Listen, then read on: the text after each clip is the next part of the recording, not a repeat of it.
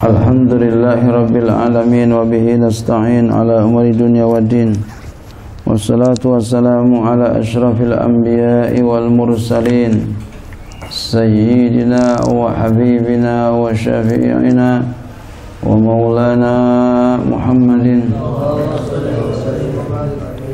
وعلى آله وصحبه أجمعين. سبحانك لا علم لنا إلا ما علمتنا. إنك أنت العليم الحكيم. ولا حول ولا قوة إلا بالله العلي العظيم. أما بعد قال المصنف رحمه الله تعالى وعلى منفع في علوم في دارين faslun fil hawalati bi fatil ha'i dengan fathah dengan fathah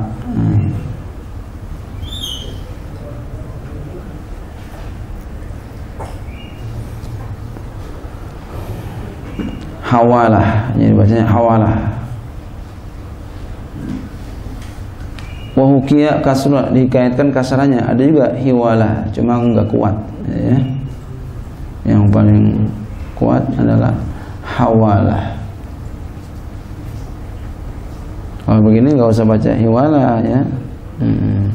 kalau ditafsir baru fi kalau ditafsir begitu wa fi kiraatin umpama gitu ya wa fi kiratin bi fatil ha maka itu nanti bacanya hiwala.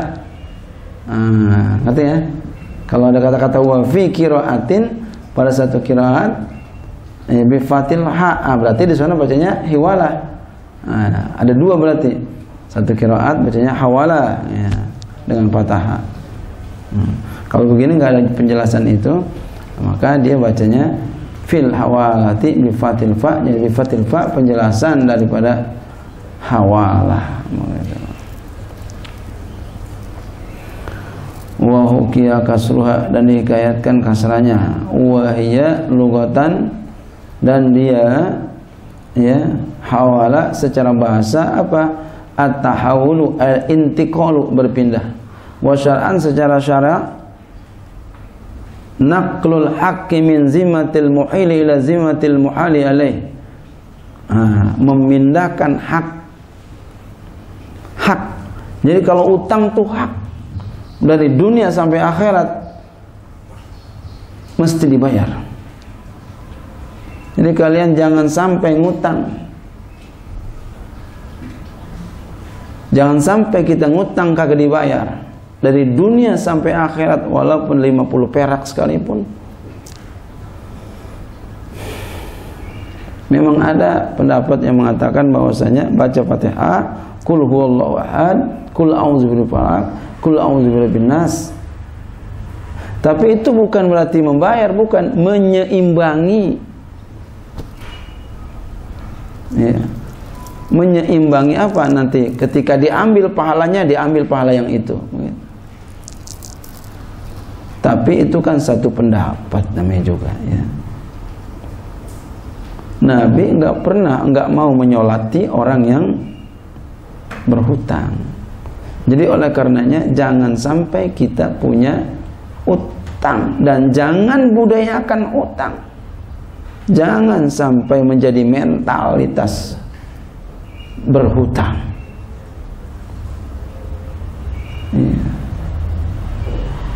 Jangan dibiasa-biasain. Ya. Kalau kamu suka biasakan menghutang, maka kamu orang yang lemah berarti. Pegang teguh Allah. Insya Allah kalau kamu pegang teguh Allah, jalani perintah Allah, jauhkan larangan Allah, apa pun dimudahkan orang yang susah, yang miskin lihat kehidupannya, lihat kehidupan agamanya, bagaimana pengamalan agamanya. Yakin kalau kita takwa kepada Allah, Allah mudahkan semua. May yattaqillah yaj'al lahu makhraja wa yarzuqhu min haitsu la yahtasib. Problema kita segera ada solusinya. Rizki datang dari mana-mana mayyattaqillah yaj'al lahu min amri yusra. Siapa yang takwa kepada Allah, urusannya mudah. Ya. Tapi kalau orang yang enggak takwa sama Allah susah urusannya. Enggak ada yang tolongin. Jadi kita harus menggenggam ya pertolongan Allah. Dia adalah naklul aki memindahkan hak. Itu hutang tuh hak. hak. Jadi kalau hak tuh nggak bisa lepas. Min zimmatil dari tanggungan seorang muhil yang memindahkan hutang ila zimmatil muhali alaih ya kepada tanggungan muhal alaih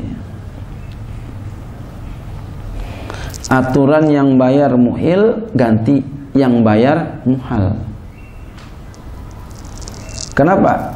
Karena si muhal punya utang sama muhil. Lu aja bayar sana. Lu sana bayar. Kata si muhil sama si muhal ale. Ente bayar, ente kan utang mana? Ente aja bayar sana. Oh iya dah. Boleh begitu. Ente ngutang mana? Sama saya, kamu utang sama saya.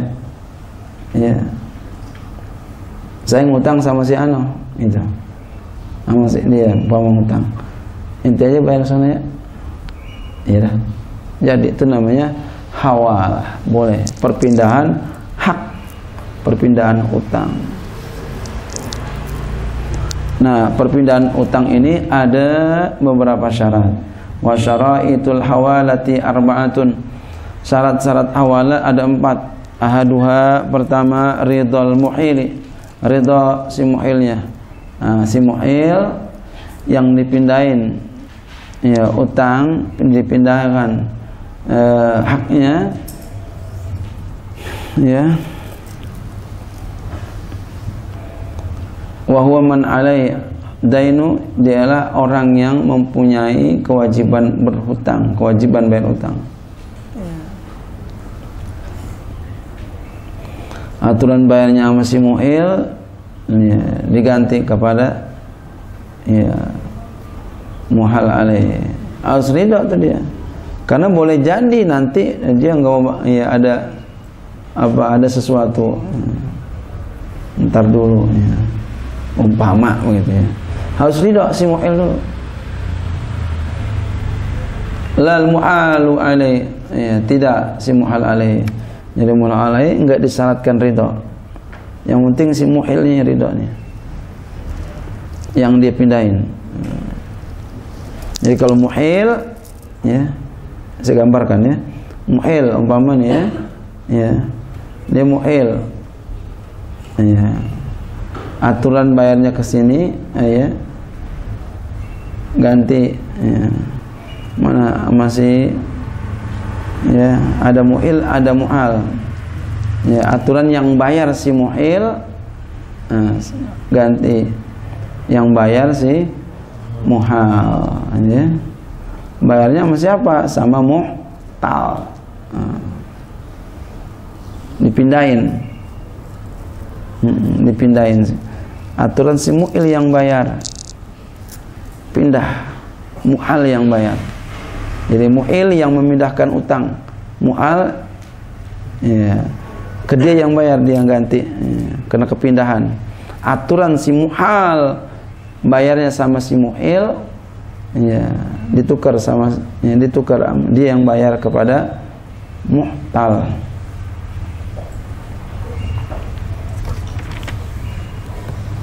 fa innahu maka sesungguhnya la yustaratu ridau fil asahi. Tidak disyaratkan ridho ya ridho si uh, uh, muhal mu'al. Tidak disyaratkan.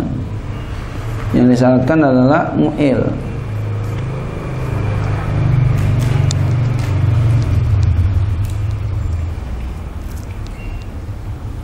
Jadi aturan si muhal ini bayarnya utangnya sama si muhil ya karena si muhil minta ya jangan sama saya ya ya inti bayar sama si anu aja ya Nah, itu bayar sama si Ano. Si Ano itu namanya muhtal. Hmm. Paham nggak? Paham nggak nih? Nah, paham ya. Biar paham.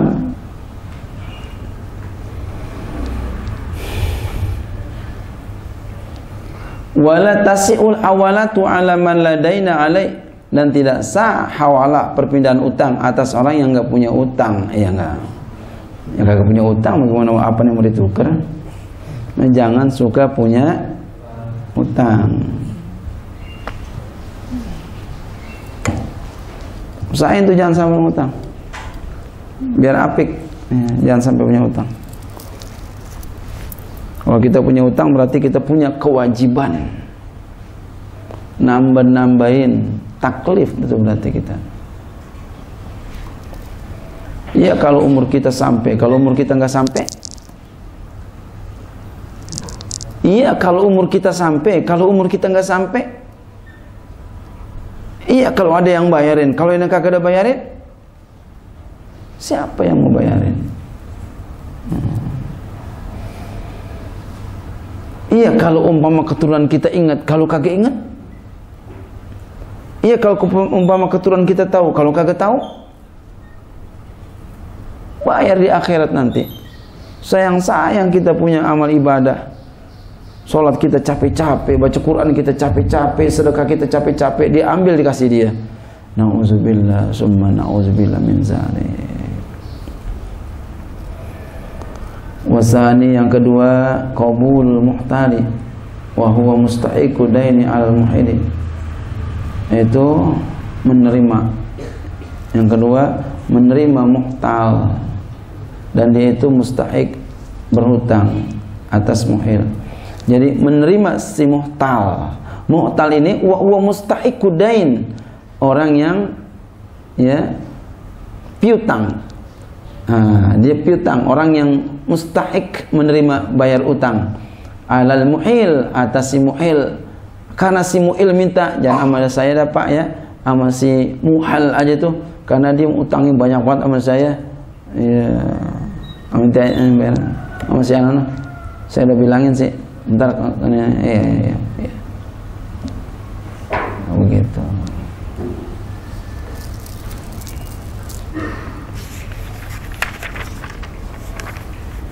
wasalisu kaunul haqqi al muhali bihi mustaqiran fi zimmati.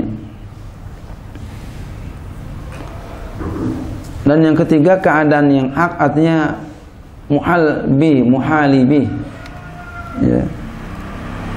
barang yang dipindahkan yaitu sesuatunya. Mustaqiron dia tetap ada fi zimmati dalam tanggungan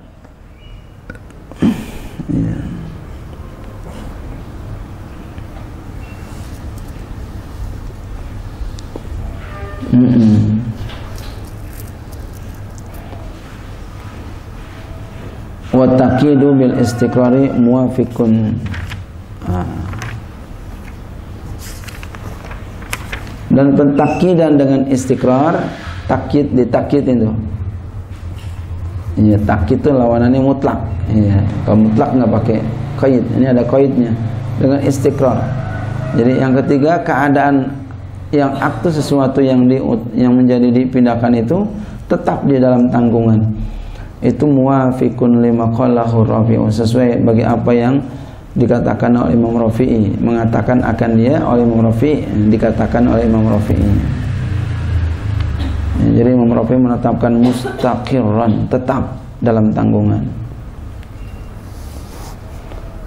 Lakin nawawiyah boleh begitu bacanya jadi kalau lakinna nawawiyah berarti ya Nawawiyah menjadi isim lakinna. Boleh juga lakinin nawawiyu.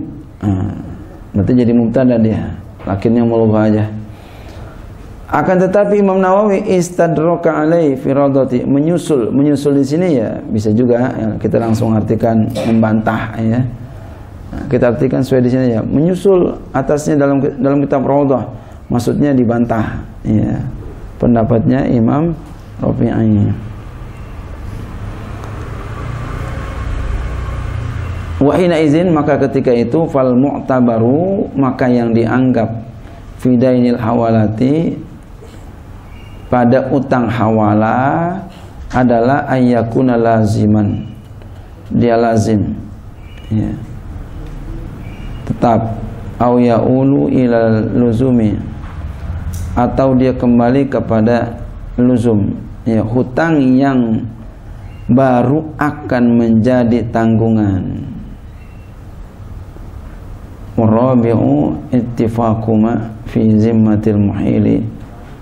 Wallahu a'lam bishawab